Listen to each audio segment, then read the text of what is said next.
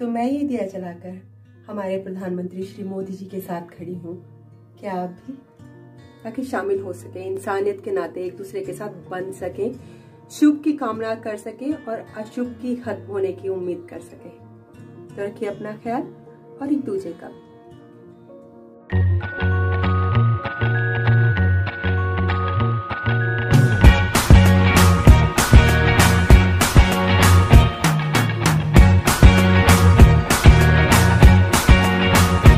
मैं अपने आप को बहुत भाग्यशाली मानती हूँ कि मैं सनातन धर्म से हूँ। सनातन धर्म ने हमें बहुत कुछ सिखाया है। एक इंसान होकर किस तरह इंसानी रूप में जिया जाए, प्रकृति को किस तरह से सम्मान दिया जाए, ये सब हमारे पूर्वजों ने वेद शास्त्रों में सिखाया है। गलती सिर्फ़ हम लोगों से इतनी हुई कि हम लोगों ने उस पर ज़्यादा ध्यान नहीं दिया। देश का राजा पिता तुल्य होता है। और मैं आप सबसे निवेदन करती हूँ कि आप अपने देश की अपने भारतवर्ष की अपने हिंदुस्तान की परंपरा को ज़िंदा रखें। हमारा असली चरित्र क्या है? हम हिंदुस्तानी जो अपनी परंपराओं को भूलते जा रहे थे उनको फिर से जीवंत करने का वक्त आया है। तो मैं आप सबसे ये प्रार्थना करूँगी कि अपने प्रधानमंत्री अपने प्रधान सेवक अपने राजा आ, की बात का सम्मान करें, उनकी बात का मान रखें, उन्हें इस बात का गर्व दें कि अगर वो हमारे साथ इस बुरे वक्त में खड़े हैं तो हम भी अपने प्रधानमंत्री की बात सुन रहे हैं, हम हम भी अपने राजा की बात का अनुसरण कर रहे हैं। जब भी हमारे प्राइम मिनिस्टर बात करते हैं तो बात होती है एकता की, बात होती है सकारात्मक सोच की, बात होती है साथ चलने की। हमारे प्राइम मिनिस्टर श्री मोदी जी ने सबसे पहले कर्मचारियों को धन्यवाद देने के लिए, उनका अभिनंदन करने के लिए सुझाव दिया था कि सब ताली बजाकर, शंखनाद करके उनका अभिनंदन करें, उनका शुक्रिया अदा करें, जो कि इतने बुरे वक्त में अपनी जान दाव पर लगाकर सबकी मदद करें। ये इंसानियत की बात है। कौन नहीं चाहता कि वो घर अपने परिवार के हाथ बैठे? किसको अपनी जान प्यारी नहीं होती? लेकिन अगर स्वास्थ्य कर्मचारी अपनी जान दाव पर लगाकर काम कर रहे हैं, अगर डॉक्टर नर्सेज अपना फ़र्ज़ निभा रहे हैं तो ये बहुत बड़ी बात है। और जब भी आप किसी को अप्रिशिएट करेंगे तो वो इंसान और ज़्यादा मेहनत से काम करेगा और ज़्यादा लगन से काम करेगा। और इंग्लैंड में जब ये खबर मैंने न्यूज़ में सुनी थी कि हिंदुस्तान ने इस तरह से अपने स्वास्थ्य कर्मचारी, अपने डॉक्टर नर्सेज का अभिनंदन किया, शंखनाद करके और बेल्स बजाकर तो एक गर्व महसूस हुआ कि हमारे हिंदुस्तान में हमारे प्रधानमंत्री इतने सक्षम हैं, इतनी सूझबूझ वाले हैं कि आज पूरी दुनिया में उनकी बात हो रही है। उसके बाद हमने इंग्लैंड में भी ये शुरू किया। हर थर्सडे को हम घर से बाहर से बाहर निकलकर दरवाज़ा खोलकर तालियाँ बजाकर अभिनंदन करते हैं अपने नेशनल हेल्थ सर्विस के जो भी डॉक्टर नर्सेज काम करते हैं, उन सबका कि वो सब अपनी जान दाव पर लगाकर इस महामारी के वक्त जी जान लगाकर काम कर रहे हैं। कहना चाहती हूँ कि इसके पीछे हमारे प्रधानमंत्री की साइकोलॉजी उनका क्या सोचना है इस बारे में? ये जो शंखनाद करना, धन्यवाद करना, इसके बहुत से फ़ायदे, बहुत सी इन, इसके पीछे छुपी हुई बातें हैं। जब आप किसी को अप्रिशिएट करते हैं तो वो इंसान और ज़्यादा मेहनत करता है। वो वो वो एक खुशी का, गर्व का एहसास होता है। जिसको आप धन्यवाद करते हैं, उस इंसान को आप प्रेरित करते हैं कि वो अपना काम और बेहतर तरीके से कर सके। दूसरा, शंखनाद हमारे सनातन धर्म की परंपरा है। शुभ की अशुभ पर विजय का प्रतीक है। शंखनाद से एक ऐसी पॉजिटिव वाइब्रेशन होती है, जो कि हमारे आसपास के वातावरण को, जो कि चीज़ें हमें नहीं नज़र आती है, ऐसी बहुत सूक्ष्म नेगेटिव वाइब्स होती हैं, जो कि हमें नहीं नज़र आती, जिस तरह वायरस नज़र नहीं आता ये जो बात है शंखनाद की, मैं बहुत गर्व से कह सकती हूँ कि हम सनातन धर्मी हैं, हम हिंदुस्तान में जन्मे हैं और हम जानते हैं कि घर में कोई भी शुभ काम होने से पहले शंखनाद होता है।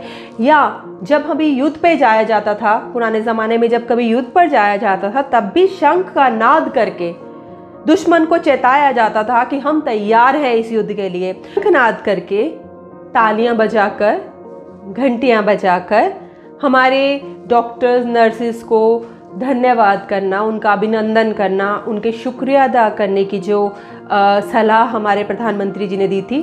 उसका ये तीसरा जो मैं फ़ायदा देख पा रही हूँ वो ये कि जब एक वक्त पर आसपास के सभी लोग, जबकि हम सोशल डिस्टेंसिंग में हैं, जबकि हम एक दूसरे से दूर रह रहे हैं अपने अपने घरों में, लेकिन जब एक ख़ास वक्त पे सब अपने अपने घरों में छतों पर निकलेंगे और एक सेफ़ दूरी रहेगी, लेकिन उसके बावजूद भी जब वो तालियाँ बजाएँगे या शंख नाद करेंगे तो वो सब एक ही सूत्र में अपने आप को जुड़ा हुआ पाएँगे।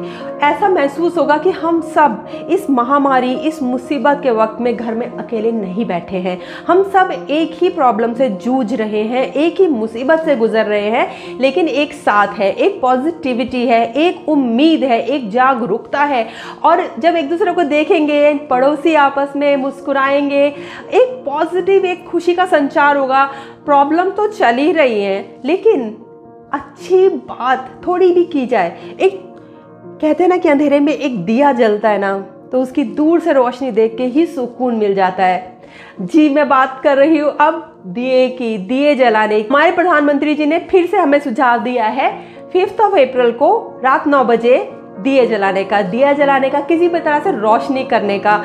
और जब से हमारे प्रधानमंत्री जी ने ये सुझाव दिया है कि दिए जलाएँ, रोशनी करें, प्रार्थना करें, और फिर से इसके पीछे हमारे प्रधानमंत्री जी की एक सूझबूझ है, एक साइकोलॉजी है कि जब सब लोग इस त्रास्ती में परेशान हो चुके हैं जब अपने घरों में बंद हैं एक दूसरे से मिल नहीं पा रहे हैं और दिन पर दिन परेशानियाँ बढ़ती जा रही हैं कामकाजी लोगों की भी और हर तरह से।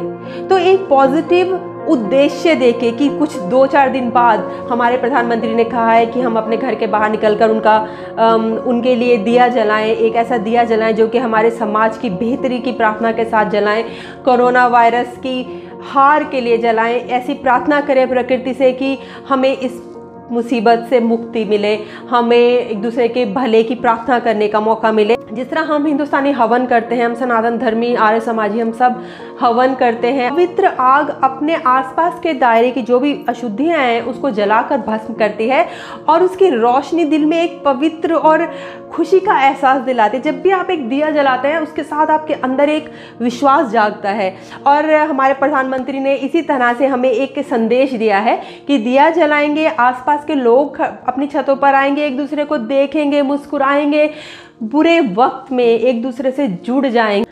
हम बहुत खुशकिस्मत हैं कि हम भारत में पैदा हुए हैं। हमारे पास बहुत रिच कल्चर है। हमारे कल्चर ने हमें शंखनाद, दीपदान और भी बहुत कुछ ऐसी परंपराएँ दी हैं जो कि हम भूल चुके थे या भूल जाते हैं। तो उनको याद दिलाने के लिए आज हमारे पास हमारे प्रधानमंत्री भी हैं।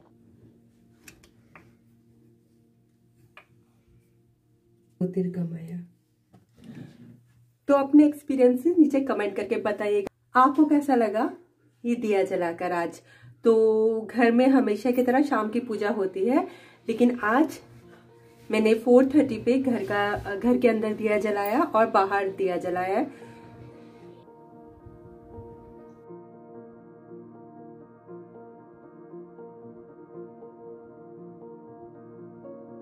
मैं हमेशा यही चाहूँगी कि हिंदुस्तान का सितारा बुलंद रहे।